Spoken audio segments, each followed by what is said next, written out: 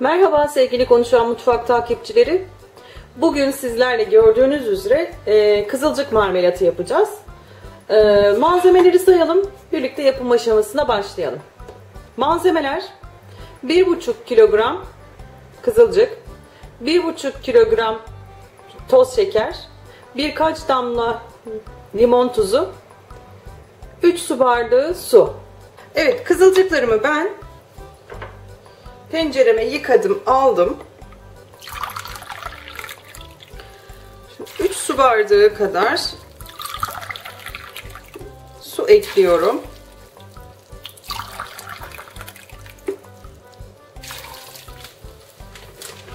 Kızılcıklarımı pişireceğim.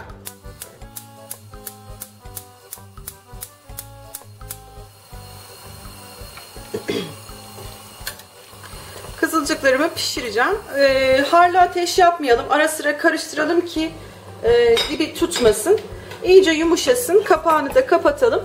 İyice yumuşadıktan sonra zaten e, süzgeçten geçireceğiz. E, şimdilik kapağını kapatıp iyice yumuşayana kadar kısık ateşte pişirelim.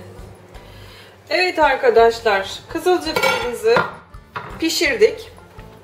Şimdi şöyle süzgeç e, süzgeci alacağım. E, posasını çıkartacağım. Şöyle yavaş dikkat ediyoruz.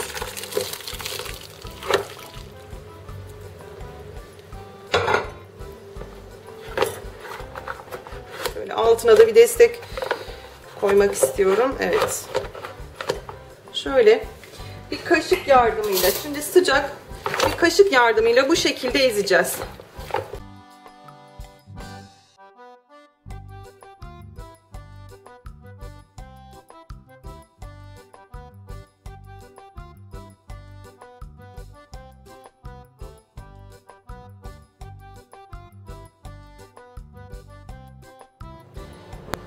Evet, e, gördüğünüz üzere püreyi de yaptık. Elekten geçirdik.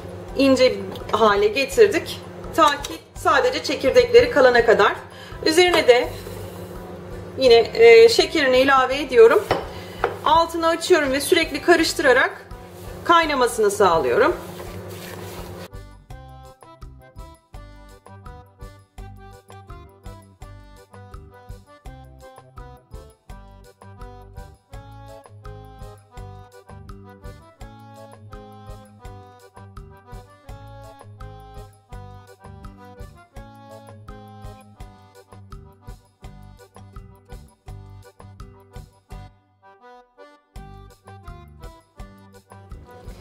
Evet reçelimizi kaynattık. Şimdi birkaç adet e, limon tuzu atmak istiyorum.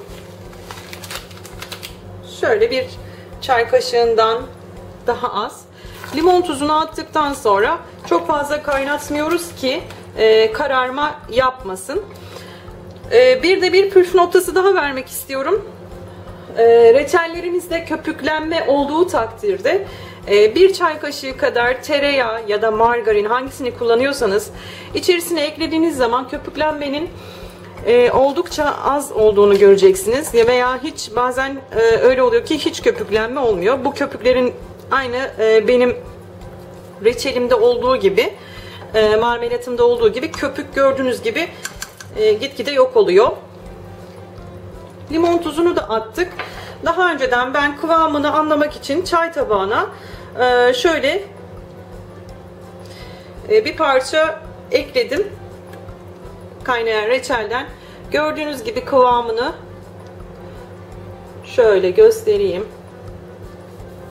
Çay tabağına eklediğimiz zaman soğumasını bekliyoruz. Bu şekilde e, kontrol edebilirsiniz.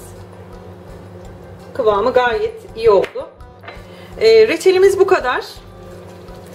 E, limon tuzunu attıktan sonra bu kadar kaynatmak da yeterli. E, ilk sıcaklığı geçtikten sonra kavanozlara doldurabilirsiniz. Umarım e, bu marmelatımı beğendiniz. Umarım sizlere faydalı olabildim. Kanalıma abone olmayı, beğeni ve yorum bırakmayı lütfen unutmayın.